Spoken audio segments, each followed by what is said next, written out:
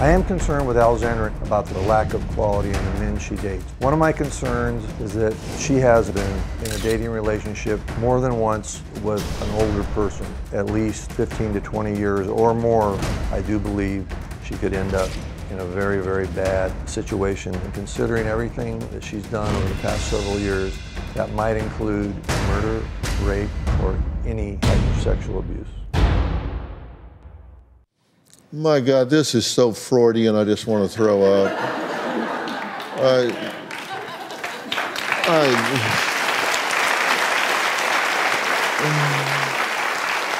Steve says his daughter Alexandra is beautiful inside and out and could get any man she wants, but he says she has no self worth and keeps attracting men who take advantage of her. Alexandra admits that she allows men to manipulate her into getting what they want because her father has always done that to her and her sister Victoria their entire lives. You learned about men from the man in your life, right? Mm-hmm. Yeah. How they treat women, value women, interact with women, relate to women, position women. That, that's where, where else can you learn that, right? Yeah on stage today, I mean, you've said sh- she's an idiot if she doesn't agree with certain things. You've said their brains aren't through growing, they're not sophisticated, they don't have self worth. You raised them, and then you criticize the product of your parenting. And I think that both of you have done very well in spite of a lot of bad messages you've gotten. Do you think your self worth is lacking?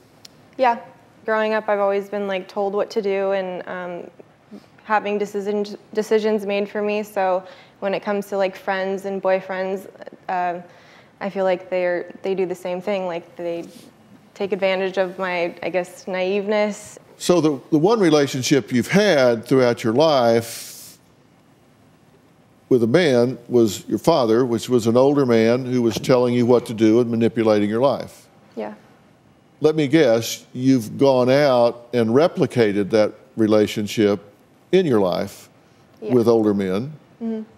and they tell you what to do and control what yeah. you do and direct you and mm-hmm.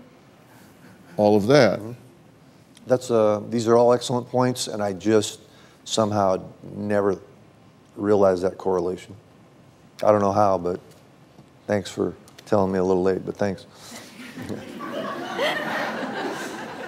How long you been watching the show? I, I, started too late. I know that things would have been different if I would have watched your show earlier.